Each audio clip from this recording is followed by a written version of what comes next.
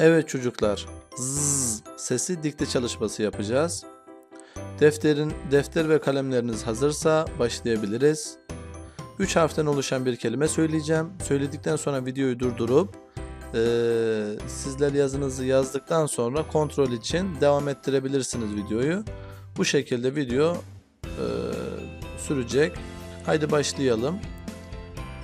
3 harften oluşan bir kelime. Saz. Tekrar söylüyorum. Saz. Başındaki ve sonundaki sese dikkat et.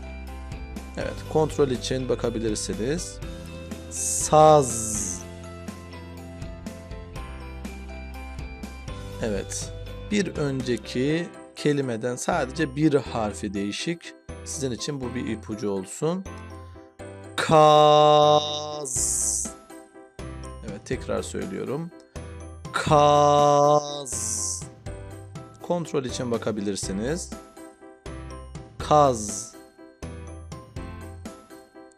Dört harften oluşan bir kelime. Ü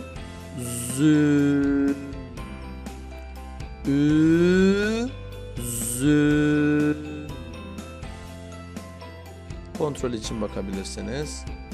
Üzüm. Beş harften oluşan bir kelime. Kazak. Kazak.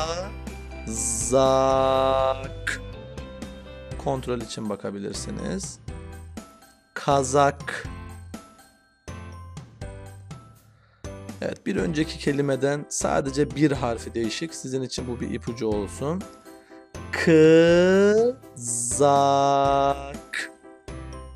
Kızak.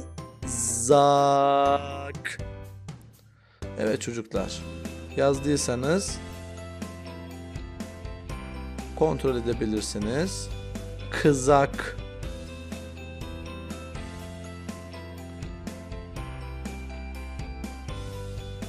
Kuzu. Kuzu.